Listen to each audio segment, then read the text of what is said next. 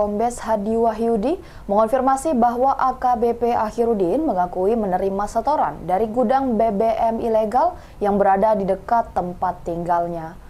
AKBP Akhirudin diduga menerima setoran tersebut sejak 2018 hingga 2023 sebelum gudang BBM ilegal digeledah. Kombes Hadi menuturkan bahwa setoran yang diterima Akhirudin berasal dari PT Almira karena ia merupakan perwira polisi yang tinggal di lokasi. Terkait besaran setoran yang diterima AKBP Akhirudin, polisi belum bisa menjelaskan. Yang pasti, kata Hadi, kasus ini masih terus diselidiki. Meski telah mengakui menerima setoran dari gudang BBM ilegal, Polda Sumut belum menetapkannya sebagai tersangka. Mantan Kasat Narkoba Polresta Deli Serdang terancam dimiskinkan karena bakal dijerat pasal tindak pidana pencucian uang. Saat ini mereka juga sudah berkoordinasi dengan PPATK karena kasus ini juga telah ditingkatkan dari penyelidikan ke penyidikan. Sementara itu, penyidik juga akan memeriksa Direktur Utama PT Almira.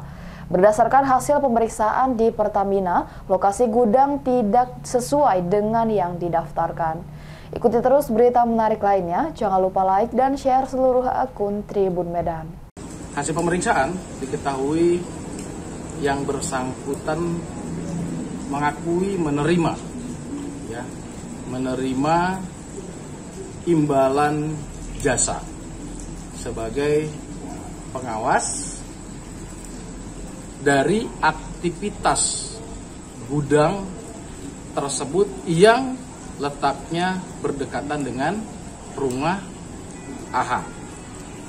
Aktivitas itu terjadi dari sekitar tahun 2018 hingga 2023. Berapa besaran yang dia terima dari eh, PT AMR itu yang masih kita dalami karena penyidik harus eh, apa namanya mensinkronkan dengan keterangan-keterangan yang lainnya.